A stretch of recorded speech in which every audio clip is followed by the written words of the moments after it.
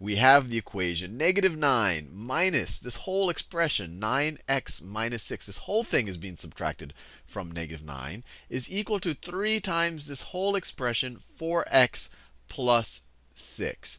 Now, a good place to start is to just get rid of these parentheses. And the best way to get rid of these parentheses is to kind of multiply them out. This has a negative 1. You just see a minus here, but it's really the same thing as having a negative 1 times this quantity. And here you have a 3 times this quantity. So let's multiply it out using the distributive property.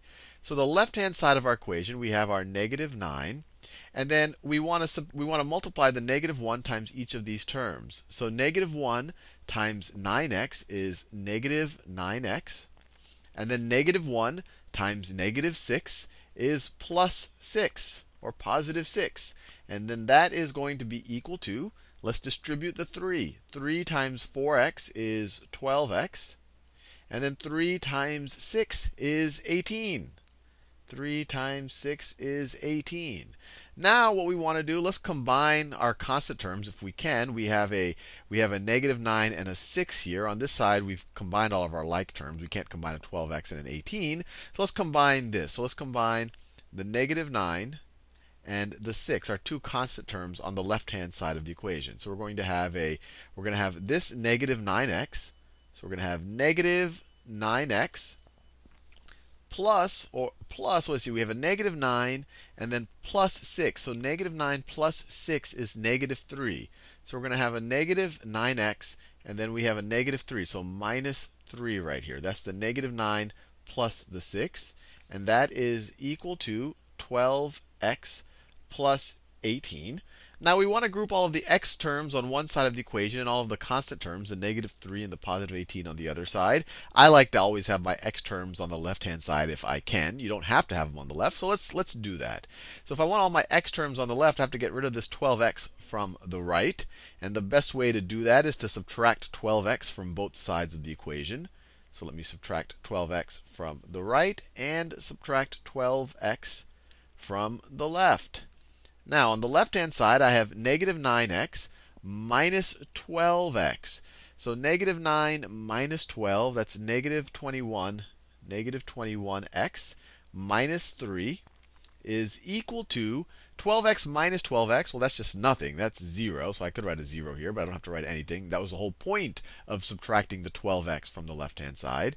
And that is going to be equal to, so on the right-hand side, we just are left with an 18 we are just left with that 18 here. These guys canceled out.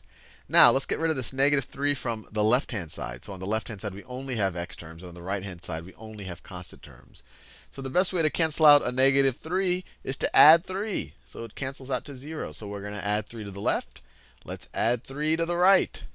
And we get the left-hand side of the equation. We have the negative 21x, no other x term to add or subtract here. So we have negative 21x. The negative 3 and the plus 3, or the positive 3, cancel out. That was the whole point.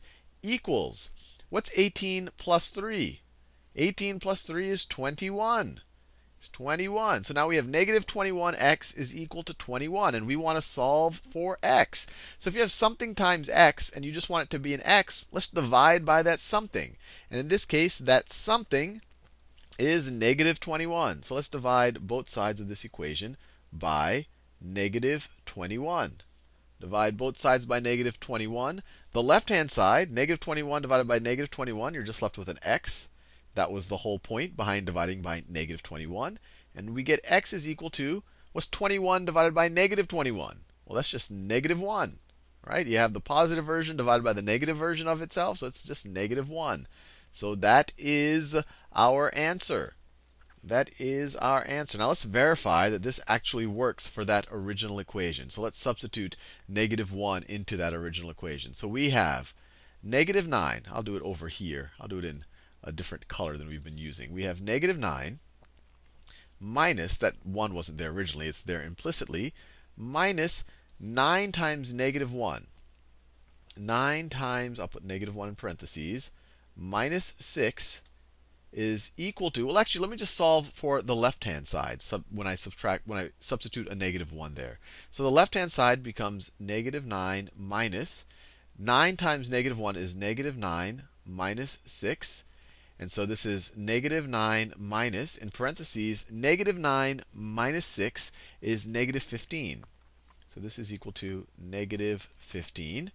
And so we get negative 9. Let me make sure I did that. Negative 9 minus 6. Yep, negative 15. So I have negative 9 minus negative 15. That's the same thing as negative 9 plus 15, which is 6. So that's what we get on the left-hand side of the equation when we substitute x is equal to negative 1. We get it equals 6. So let's see what happens when we substitute negative 1 to the right-hand side of the equation. I'll do it in green. We get 3 times 4 times negative 1, 4 times negative 1, plus 6. And so that is 3 times negative 4 plus 6.